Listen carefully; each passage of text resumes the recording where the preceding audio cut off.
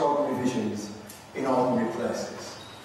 And what I'm going to do is I'm going to encourage all of you to spend a little bit of time, in fact a lot of time, just dreaming or imagining or even fantasizing about how brilliant Castleford could be.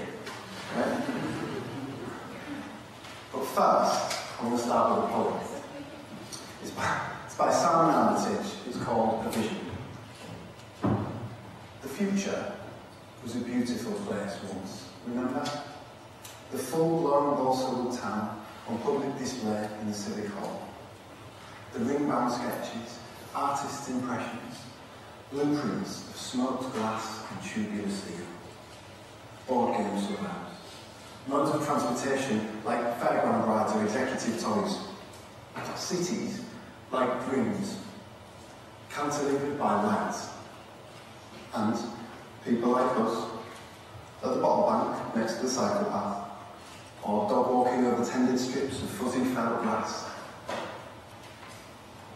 or model drivers motoring home in electric cars, or after the late show strolling boulevard. They were the plans, all underwritten in the neat left hand of architects, a true, legible script. I pulled that future out of the north wind at the landfill site, stamped with today's date, right in the air with other such futures, all unlived in and now fully extinct. Now, that poem reminds us of a modernist planning vision that's never left some of us. The problem with that vision is it often destroyed more vibrant and connected communities than it created, right? But it's difficult to shape the notion, isn't it, that we can do a lot better with our towns and cities. That poem reminds us that we used to have a shared idea of what the future might look like. We used to have what I call collective visions, stuff that we have to do together. And I'm going to argue that we need, we all need, to be a lot more ambitious about our collective visions if we're going to face the challenges ahead of us. And I think part of that is because we've got a little bit too good at their alternative, their opposite, the private vision. And I'm willing to bet you've seen some of these. So, pick. So, do you have a five-year plan?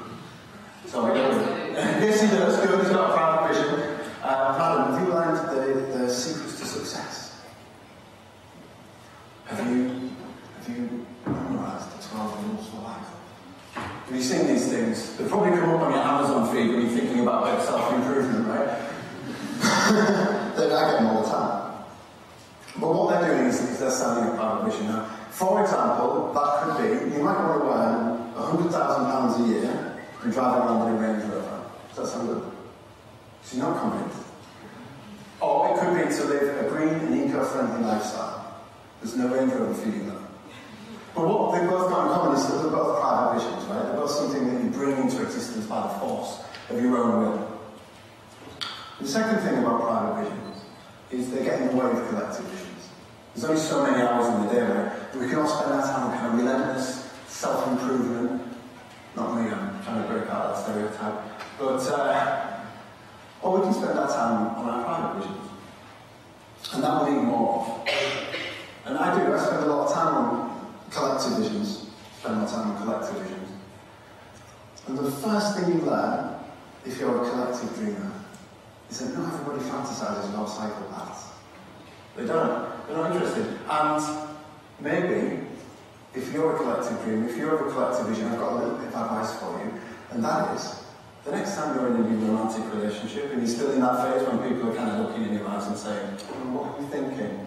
Don't say, don't say, well, I was thinking about how we could reforest and regreen the city so that our future children have got massive urban woodlands to play in, yeah? and then we can use the forestry waste from that in a green energy plant for low carbon power for the city. Don't, don't do that. Unless they say, you know, what about the quality impact of burning all that biomass in cities, then that's the person you should marry. But if that doesn't happen to you, and let's be frank, it might not, then another option that's open to you is to make your collective dreaming your job. To make it your profession? And that's what a lot of people I meet do or want to do. And for a long time, the right thing for those people is to to find the right university course for them, and that's been urban planning or architecture. And what they do in these courses is they spend a long time learning about kind of mixed-use developments and walkable streets and inclusive housing and you know zero carbon neighbourhoods, right? And then they learn all that, and then they maybe learn that in the future we need new cities for three billion new humans by 2100. And they think, wow, what if I could be a part of that? What if I could be part of building new cities for humanity? And then those people go out and they get a job in the planning office in Doncaster. yes! Doncaster. And it's a bit naughty of me to invite you to laugh there because you know, this is, these are the kind of places where most people live and where our collective dreamers might end up working. And when they end up working somewhere like that with all these new skills and visions, they end up feeling stuck. And up feeling stuck because they've got all these new ideas for new developments and you know, new housing projects or whatever. But the place they're working is not about to get a lot of new investment anytime soon. And even though we talk about building new cities, really, most of the West at least, we're not talking about cities that are growing rapidly at all. I would argue that even if every planning officer and elected local official in every local government across the world woke up tomorrow morning having seen an amazing TED talk on a live stream on Facebook and said, right, that's it, from now on we're going to have low carbon, walkable development in every scheme that we do. Even if that was the case, it would take us 100 years or more to make the transition to low carbon cities on the back of planning innovation alone. And we don't have 100 years. Now, don't worry, I am an environmentalist, but this is the only graph I'm going to use. But it is an important one, right? And this, this graph shows us our carbon budget. You can't see that from the back. This graph shows us our carbon budget, the amount of time that we've got left if we carry on the way we are. We will use up our, our chance of remaining below 2 degrees, a 50% chance by in 26 years. So we don't have the time to wait for new cities to be built.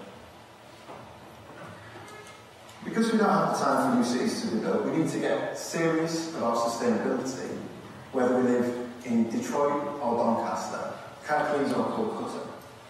Or anywhere that's got to get serious about retrofitting the systems we already have in places where people already are. It doesn't need to be about architects' master plans.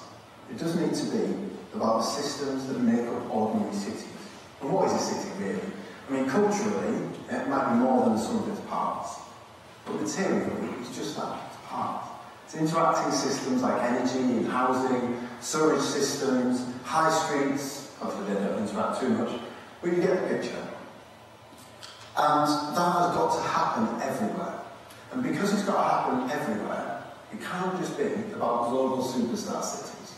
It's got to be about a car-free Castleford, a low-carbon Lowestoft, or walkable Wakefield. Right? In fact, I'm done hearing what's going on in New York City or Shanghai.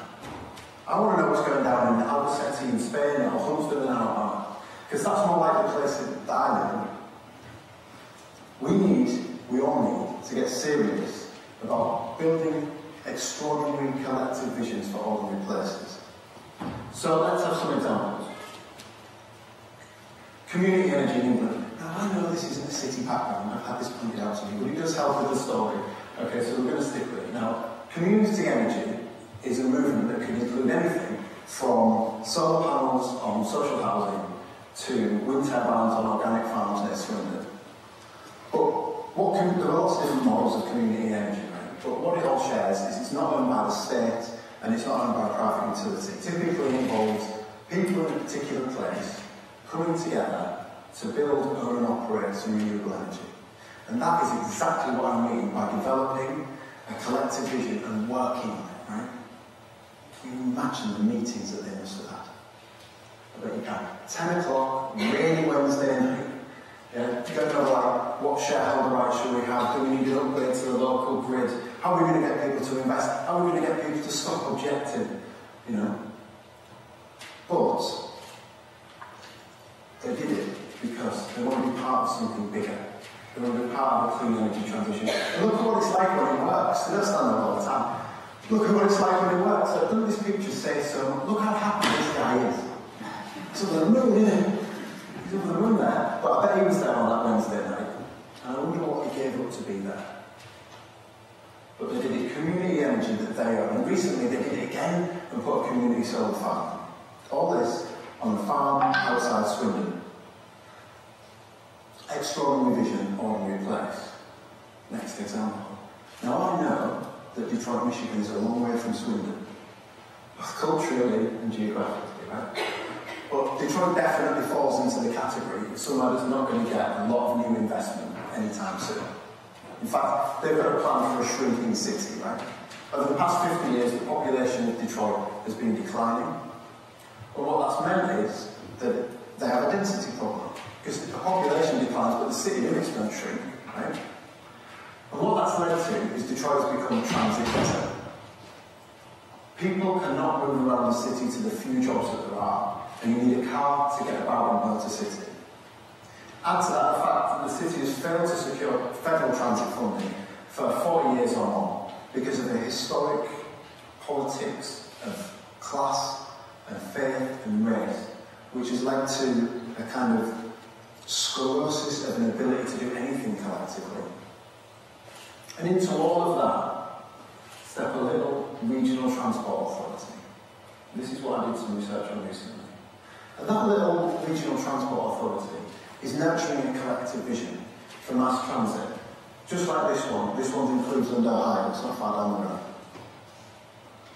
And all they want is a decent bus system for the citizens of Detroit. But think of the amount of effort they have to put into building a collective vision to overcome all of those kind of structural and cultural inequalities.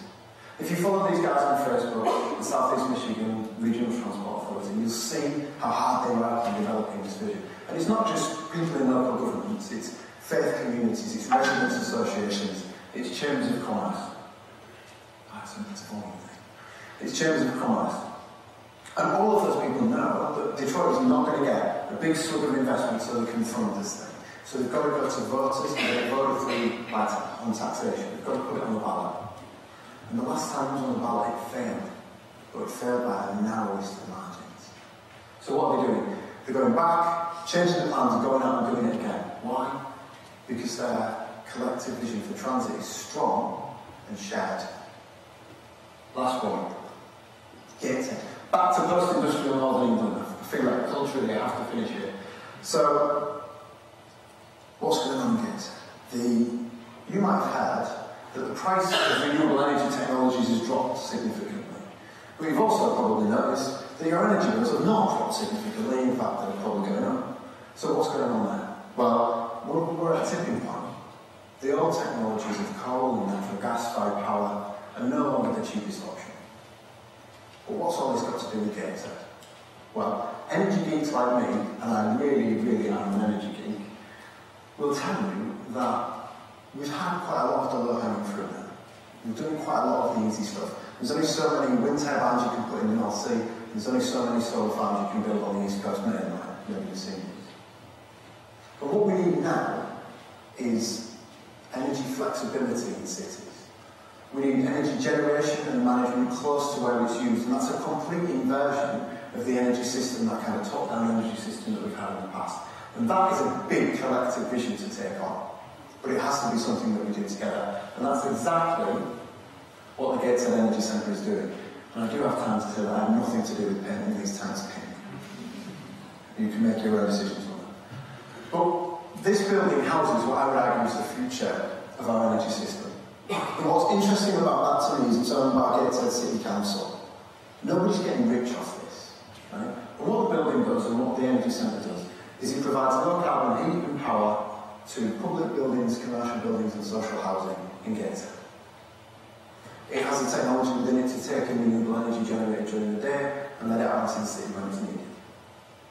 But what's most interesting to me is before the you know, formal meetings were had, before somebody typed out a spreadsheet, before the ground was broken, certainly, somebody or some small group of people had to get together and create a collective vision that had nothing to do with private success. Yeah, sure, doing a good job of this will look good on the CV, but what had to happen is people had to come together and develop a collective vision of a green energy future for Gateshead. Not Singapore or Silicon Valley, in ordinary places, we don't need to follow, we can lead. So what do I want? I've given you just three examples of ordinary places where people are developing extraordinary visions. Now, I bet everyone in this room has got a collective vision. Am I right? You won't be here on a sunny Friday night and leave if you didn't. But I, I think I'm also right in saying that sometimes those collective visions can feel quite small. And they feel quite small, I think, because of the power of the narrative of private success and the industry behind pushing those private visions. Sometimes having a collective vision can feel a bit illicit to want something communal. You know, you might want uh, cycle lanes so you can cycle safely to work. You're a weirdo, like hippie, yeah? This guy might want just a community garden where his kids can play. He's a troublemaker. Get him. But if you say you want that 100 grand a year in Range Rover, nobody bats an eye. We need to stand with courage and talk about what we want for our see. It takes courage to talk in us and our rather than me and mine. But unless we are proud of what we want collectively and what we can do collectively, then we're never going to make the depth of change we need in our towns and cities. All that's necessary to begin is to find other people like you. So, I wonder if you were brave enough. After all these talks are over, whether you've got the courage to go up to somebody that you have never met and say, I've got an idea for the place I live. Because they might say, me too, what's yours? Thank you.